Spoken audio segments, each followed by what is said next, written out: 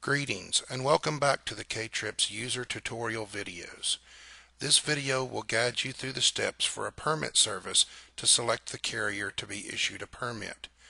Note, if a carrier is not selected, the permit will be issued in the name of the permit service and cannot be transferred.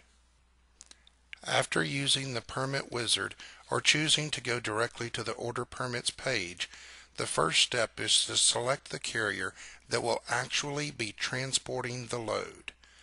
Permits ordered without the proper carrier name cannot be transferred or refunded. Carrier lookup can be accomplished using either the carrier name or USDOT number.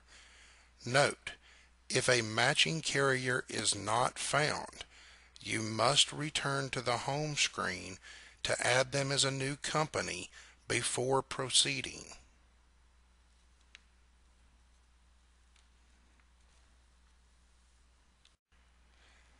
As matching characters are detected, a pick list will be available for you to choose from.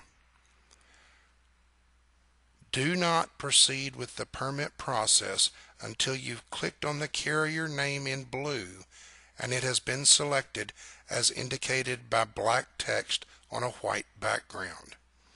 Only then should you proceed with entering additional permit information and continuing with the order process. This concludes the K-Trips user tutorial video on how a permit service must select carriers.